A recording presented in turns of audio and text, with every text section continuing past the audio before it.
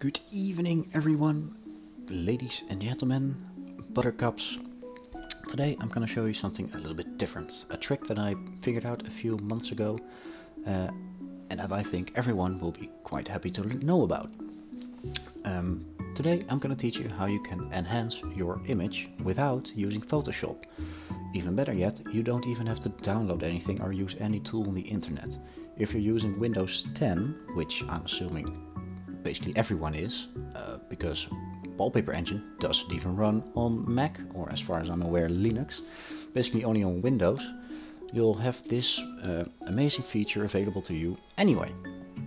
So, what I'm talking about is today I'm going to teach you how to enhance the colors of your image and add a clarity filter on top of it.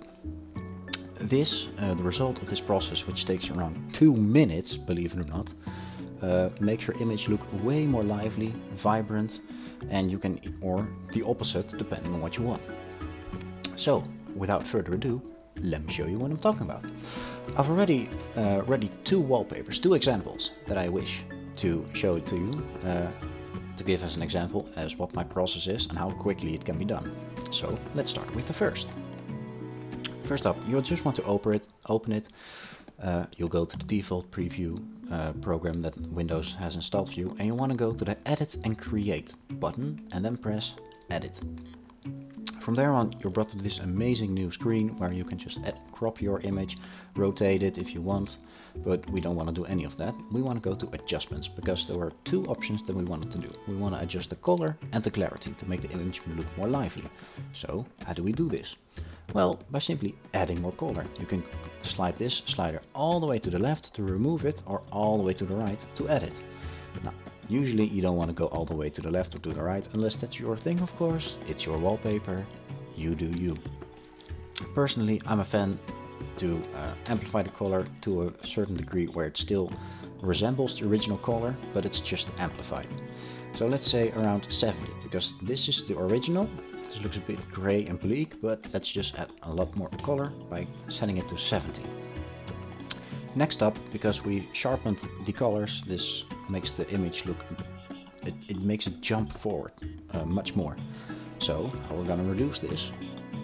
By just grabbing the clarity slider and just sliding it all the way to the left, around 60.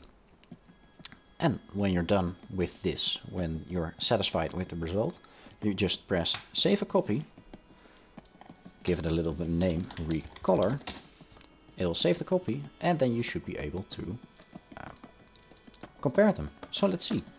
This is the one that we just made. This is where we added more color and clarity, and this is the original. Well, uh, in my humble opinion, the difference is basically as bright as day, pun intended with the colors. Uh, this just looks way nicer. Also, uh, the added effect of clarity is that, for example, the background over here looks way more vague than over here. It jumps way more to the front. This makes shake effects way easier to use as the background is less noticeable and automatically it's less noticeable when it moves, meaning your shake effects can be stronger without having this those weird distortions in the background that just grab your attention. Alright, so that was one. Let's do the other as well, for good measure. We're gonna go to Edit and Create, press the Edit button, go to Adjustments, and from here on we can tweak with the settings. Let's say I'm gonna just explain the, the other uh, sliders as well. You can expand these and uh, grab with these sliders and tweak them with them as you like. Usually I don't really touch them as they are only amplifying a single or multiple effects though the highlights slider I do use from time to time. Uh, the shadows basically adds or removes shadows. Uh, the color, yeah, well, personally, the tint going to the right or to the left, sometimes it makes your image better. For uh, this one, for example, makes it a bit better if you go to the right, adds a bit more color. But that's what we want to do with the color slider anyway, so not really looking forward to that.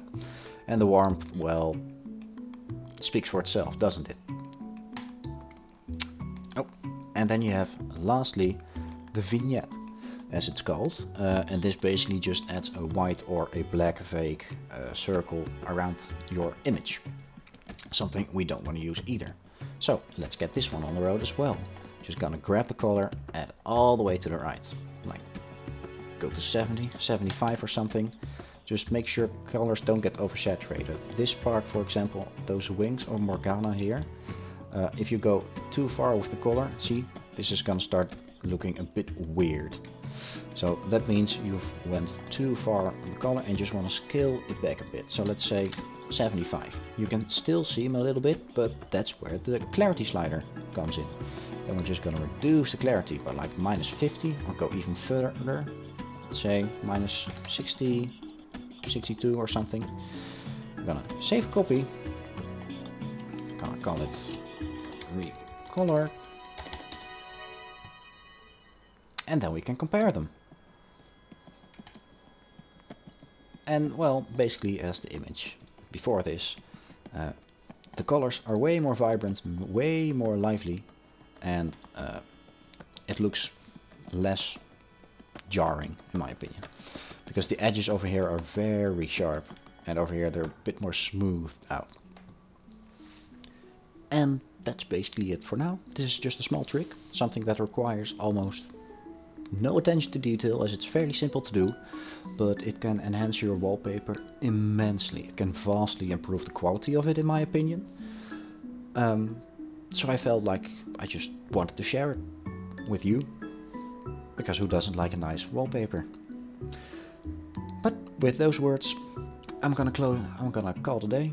Um, I'll probably have more tutorials coming up. Uh, if you have any ideas, any effects that you would like explained, or any uh, or you have a wallpaper for example that you and you have a certain uh, part of the wallpaper that you would like animated or have an effect on top of and you have no idea how to do it properly uh, feel free to leave suggestions as to what tutorials you would like to see next uh, covering what aspect uh, as long as I'm capable of actually doing them of course. Um, and I'll do my best to make one tutorial about it and upload it as quickly as possible.